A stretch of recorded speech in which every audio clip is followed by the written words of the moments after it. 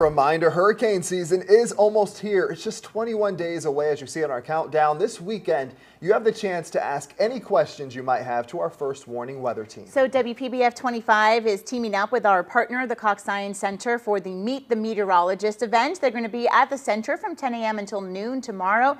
You can stop by to meet Chief Certified Meteorologist Chris Martinez and the first warning weather team, including our very own Sandra Shaw and Vanessa Vinette. You can interact with our meteorology exhibit as well. WPBF viewers who attend, you're going to get a 25% discount when you buy your tickets at the door.